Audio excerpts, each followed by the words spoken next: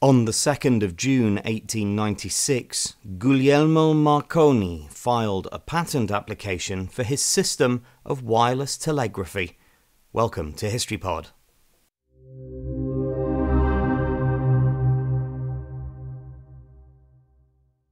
Marconi was born in Bologna in Italy in 1874 and became interested in electromagnetic waves after reading the work of Heinrich Hertz and others who demonstrated the existence of wireless signals.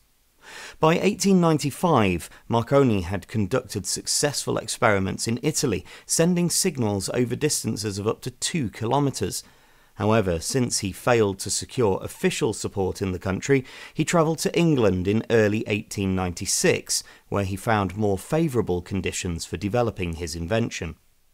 On the 2nd of June, Marconi filed a patent application in London for a spark gap transmitter that generated radio waves and a coherer as a receiver to detect the signals. The patent, titled Improvements in Transmitting Electrical Impulses and Signals and in Apparatus Therefor, was distinctive in claiming a method of wireless communication using a grounded transmitter and receiver as well as vertical aerials to enhance the range.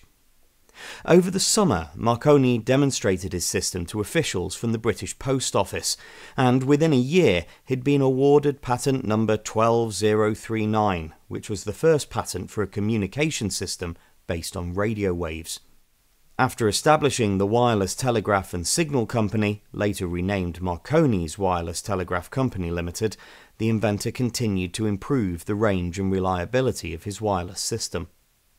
Although Marconi's early patents secured his position in the emerging wireless industry, his claims were later challenged by other inventors, and patent disputes continued for years.